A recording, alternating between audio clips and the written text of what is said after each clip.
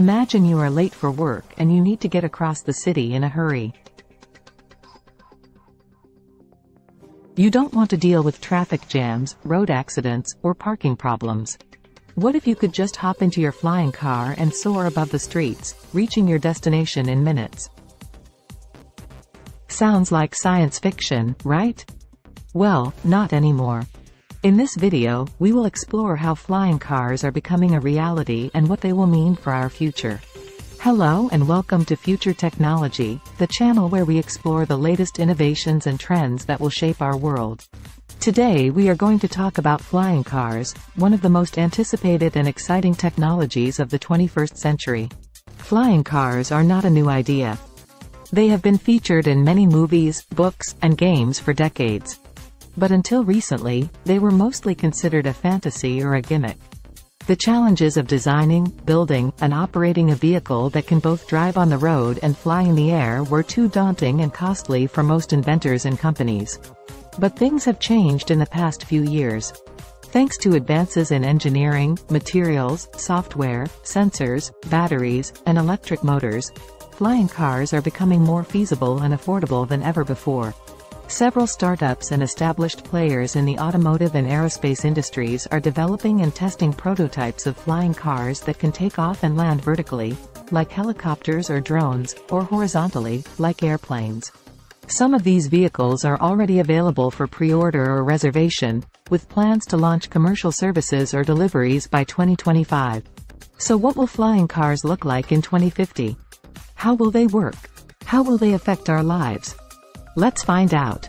First of all, flying cars will not be like the ones you see in movies. They will not be simply cars with wings or propellers attached. They will be more like hybrid vehicles that can switch between different modes of transportation depending on the situation. For example, some models will have retractable wings or rotors that can fold or unfold when needed. Others will have detachable modules that can separate or combine to form different configurations. Some will even have the ability to transform into boats or submarines. Secondly, flying cars will not be driven by humans. They will be controlled by artificial intelligence and connected to a network of sensors, satellites, and traffic management systems that will ensure safety and efficiency. Humans will only need to input their destination and preferences, and the vehicle will do the rest. The vehicle will also communicate with other vehicles and infrastructure to avoid collisions and optimize routes. Thirdly, flying cars will not be owned by individuals. They will be part of a shared mobility service that will allow users to access them on demand or subscribe to them for a period of time. Users will be able to choose from different types of vehicles depending on their needs and preferences, for example, they could opt for a solo pod for a quick trip across town, a family car for a weekend getaway, or a luxury limo for a special occasion.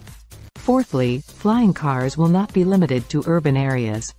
They will also enable new possibilities for travel and exploration in rural and remote regions. They will allow people to access places that are otherwise difficult or impossible to reach by conventional means of transportation. For example, they could visit natural wonders, historical sites, or exotic destinations that are off the grid or have no roads or airports. Fifthly, flying cars will not only change how we move around but also how we live and work. They will create new opportunities for economic development, social interaction, and environmental sustainability.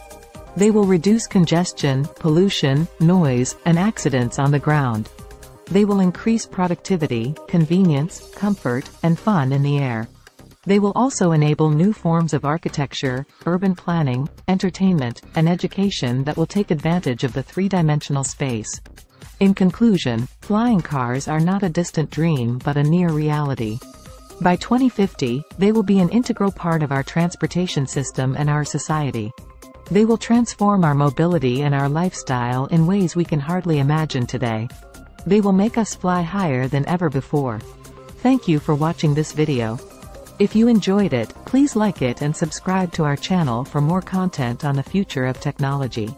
And don't forget to leave your comments below. What do you think about flying cars? Would you like to ride one? Where would you go? Let us know your thoughts.